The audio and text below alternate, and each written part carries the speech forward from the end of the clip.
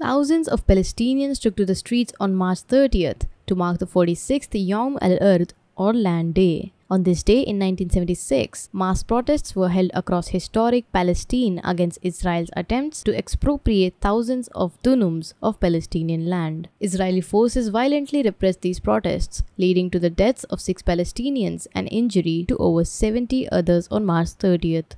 Since then, Land Day is observed each year to symbolize the ongoing collective struggle against the Israeli occupation. In 2018, Land Day marked the beginning of the Great March of Return, one of the biggest resistance struggles against Israel. Land Day also marks the resolve to secure the right of return for Palestinians who were forcibly displaced and ethnically cleansed from their homes during the 1948 Nakba, as well as their descendants. Today, they number about 6 million. The right of return is recognized in United Nations Resolution number 194 of 1948. However, Israel refuses to adhere to it. This year, a march was organized in the towns of Sakhnin and Deir Hana, which were the focus of the 1976 protests. Six villages in the Galilee were put under curfew.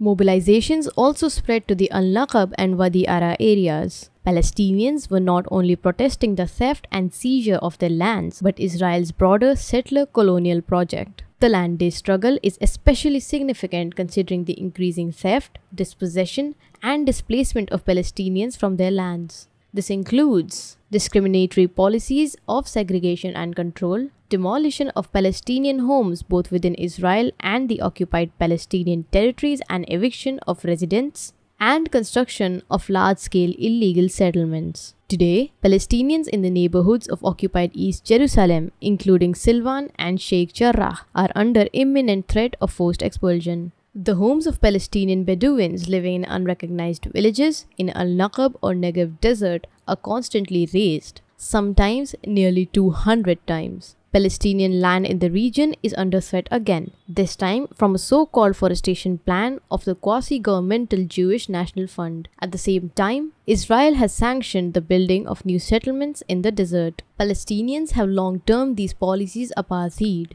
Increasingly, human rights organizations are endorsing this position.